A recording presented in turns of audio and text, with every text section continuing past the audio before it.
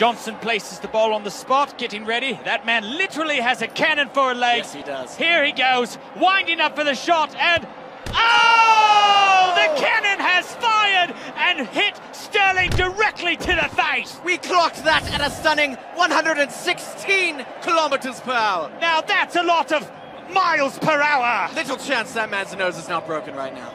Oh, indeed. Now, Sterling getting checked out for that one. Spectacular save, though, but sadly, he's not out of the woods yet. On his feet now, a bit shaken. But not stirred. this crowd absolutely loves this man. And Sterling's teammates welcome him back a hero for now. Back now to Scott Sterling. He looks a bit worse for wear, but ready for round two. And Shaw takes a moment. Here he goes with the approach. Oh! Sterling with a fantastic dive.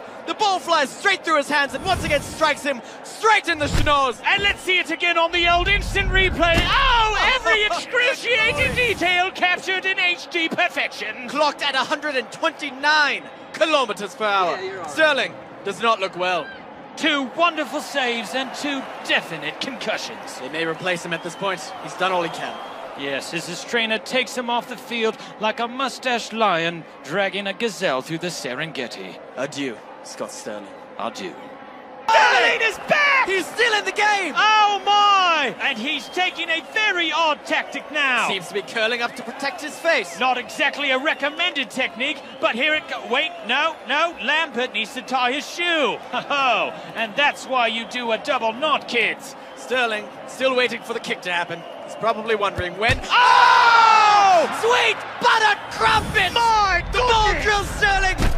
in the face. That man's now Sterling, the man, the myth, the, the legend. Three perfect blocks by Sterling and his cat-like face reflexes. Absolutely incredible. Though I must say, Sterling does not look well at all. Well, you know football players like to add a bit of drama, don't they? They're gonna take him out. No, wait.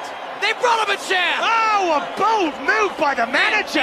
Bain sets up for the fourth attempt! And this, frankly, is a gimme.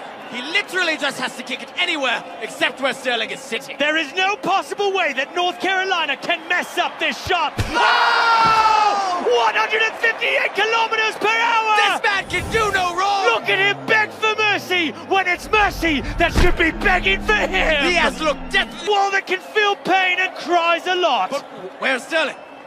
Oh, he seems to be crawling away from the goal. What is he doing? He's throwing away the bat. Oh!